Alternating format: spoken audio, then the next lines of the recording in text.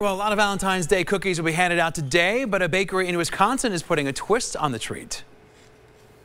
Not everybody has a Valentine, and some people don't enjoy this time of year, so we don't want to leave them out. So we did some anti-Valentine cookies and cupcakes for them.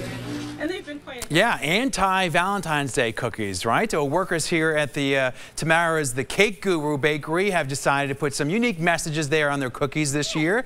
And some of them read, love stinks. I think a lot of people can agree with that sometimes. Netflix is my love. Uh, and you suck. Um, and just, you know, putting it out there. Uh, the bakery says it is catered to fans who aren't uh, fans of Valentine's Day. You don't necessarily have to be single. You could be married, right, Beth Fisher, and not love Valentine's Day. That makes it sound like I don't love my husband. Well, you I love my husband. I'm just not a huge Valentine's Day girl.